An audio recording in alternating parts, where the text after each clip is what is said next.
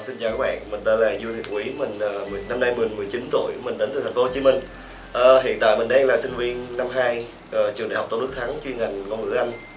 Uh, mình uh, quyết định đi du học bởi vì uh, mình uh, muốn học thêm một chuyên ngành là quản trị kinh doanh và tìm kiếm những thử thách mới. Cũng như là sau khi uh, tốt nghiệp tại Mỹ thì mình sẽ trở về Việt Nam làm uh, uh, quản lý tại khách sạn uh, Sheraton Sài Gòn mình ờ, quyết định chọn Mỹ để ờ, du học vì ờ, Mỹ là một quốc gia đứng đầu về giáo dục. Với rất là nhiều trường đại học danh tiếng, trong số 200 trường thì Mỹ đã chiếm hết gần 74 trường đại học trên thế giới rồi. Và chất lượng giáo dục cũng như là bằng cấp được công nhận ở khắp nơi trên thế giới. Nên mình nghĩ Mỹ là một nơi là số 1 để theo học. Và bằng cấp của Mỹ trở về Việt Nam thì chắc chắn sẽ có những công việc rất tốt ở Việt Nam. Mình sẽ học ở trường ờ, cao đẳng cộng đồng Seattle, Seattle Central College. Um, lộ trình học của mình gồm ờ, uh, 5 năm. Năm đầu tiên thì mình sẽ học uh, tiếng Anh để hoàn thiện uh, kỹ năng tiếng Anh của mình. Và hai năm tiếp theo thì mình uh, sẽ theo học ngành quản trị kinh doanh tại trường. Và uh, chuyển tiếp lên đại học uh, University of Washington um, sau đó thì mình sẽ trở về Việt Nam uh, tìm kiếm công việc quản lý. Trường Seattle Central College uh, có hơn 50 năm kinh nghiệm giảng dạy. Uh, trường rất đa dạng về ngành đào tạo và quản trị kinh doanh là một trong những ngành mình thấy là tốt nhất của trường.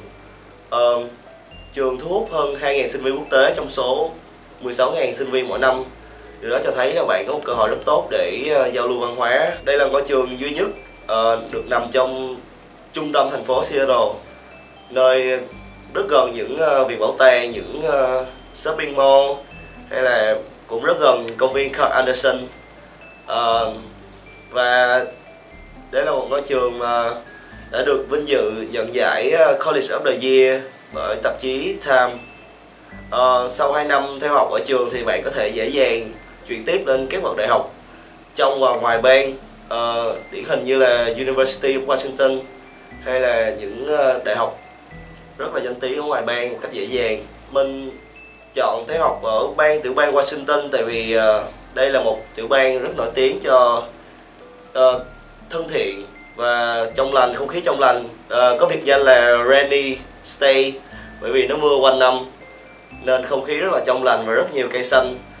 Uh, cũng như là đây là thủ phủ của Đại học ờ, Washington, University Washington và là đội nhà của đội bóng bầu dục uh, Seahawks team.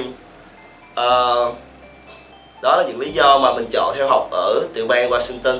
Mình biết đến Tân Đại Dương cũng rất là tình cờ. Uh, mình có một người bạn theo học ở uh, Mission College. Thì có một lần nói chuyện thì mình hỏi về uh, cái những cái thủ tục mà bạn đó đã chuẩn bị uh, để đi du học thì bạn đó nói cho mình là vậy đó có nhờ sự giúp đỡ của Tân Đại Dương. Và cũng nói với mình là đây là một công ty rất là uy tín cũng như chất lượng. Và có thể là khả năng giúp hoàn thiện cái khả năng đậu visa của mình cao hơn khi là mình tự làm. Cho nên là mình đã quyết định chọn uh, Tân Đại Dương. Và khi đến Tân Đại Dương thì mình uh, gặp tư vấn viên là chị Nhi. Ờ, một tư viên là mình thấy là rất là nhiệt tình đã giúp đỡ cho mình rất rất nhiều uh, từ việc uh, chuẩn bị hồ sơ. Rất nhiều thứ hồ sơ uh, chị Nhi đã tư vấn và giúp đỡ cho mình rất là nhiều.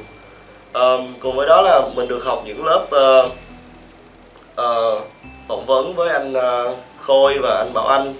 Thì đây mình xem như đây là hai người truyền lửa cho mình để đánh thức những cái sự tự tin trong uh, bản thân và giúp bạn không còn sợ sệt ờ, hay là run khi mà đứng trước uh, phỏng vấn viên của lãnh sự.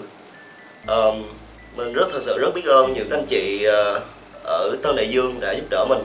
Những ngày đầu mình uh, học với anh Khôi thì uh, anh Khôi đã hướng dẫn rất là cặn kẽ về uh, cái việc uh, tìm hiểu trường, tìm hiểu ban cũng như là thời tiết khí hậu hay là học phí gì đó các bạn học ở trường. Um, những uh, chi tiết rất là quan trọng khi mà bạn muốn theo học cái trường đó. Và khi mình học với anh Bảo Anh thì thực sự là mình cảm thấy anh đã giúp mình rất là tự tin. Ờ, anh đã truyền hết cảm hứng cho mình.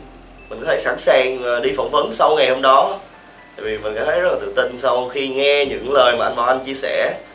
Uh, những kinh nghiệm mà anh Bảo chia sẻ rất là thực tế và hữu dụng. Bao gồm những câu hỏi uh, cụ thể là 7 câu hỏi mà uh, anh Bảo Anh đã tích lũy uh, kinh nghiệm và đã truyền đạt cho tụi mình thì mình tự tin rằng các bạn nắm vững 7 câu hỏi đó thì các bạn có thể trả lời một cách lưu loát và tự tin với phỏng vấn viên và cơ hội đậu visa của bạn sẽ rất là cao. Ngay sau khi mình có visa cảm giác của mình rất là vui rất là nhẹ nhõm uh, rất là tự hào mình đã chiến thắng được rất là nhiều thứ trong bản thân mình và cái người đầu tiên mà mình uh, báo tin đậu mình là mẹ mình. Mẹ mình cũng rất là vui.